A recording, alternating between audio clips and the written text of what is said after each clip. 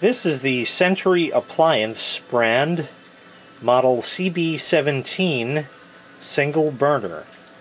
That's exactly what it is. It's got a control on it with a light that shows when it's actually on, once of course it's plugged in. An old school electric burner. Yes, it always was kind of flippy floppy and wonky like that. I bought this at a place called Ocean State Job Lot some years ago. Sticker came just like this.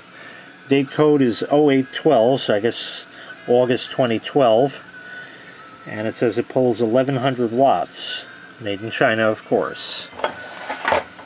Do not use as a portable heater. Probably a wise idea.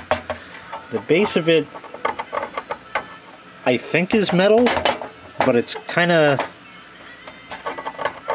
weird feeling, so I don't know for sure. Anyways, let's get this hooked up. I'm going to put a pot of water on it. Some time ago, I did a test of a similar type device that had two burners or hobs on it from Aldi.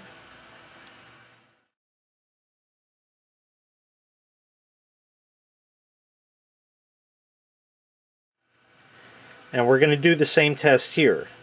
So let me get the water ready. Okay, here's two cups of cold water. I'll pour in this pot right here.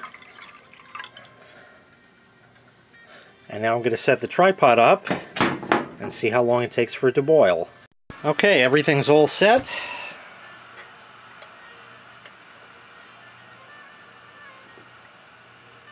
There we are.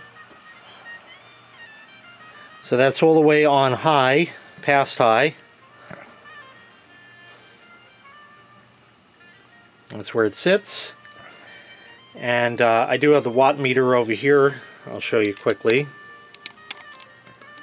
That's reading 111, which would be about 1110 watts.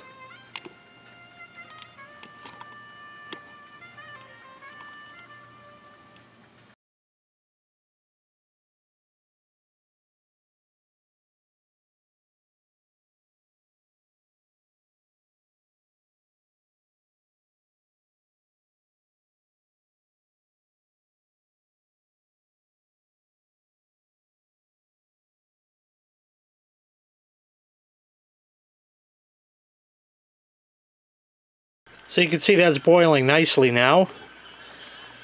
Watt meter is reading 1.02, so about 1020 watts. So it actually has gone down a bit.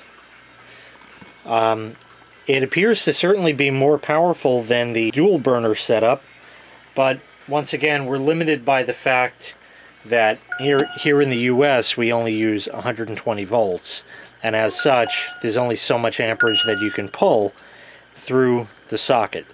So we're limited to smaller burners and things like that.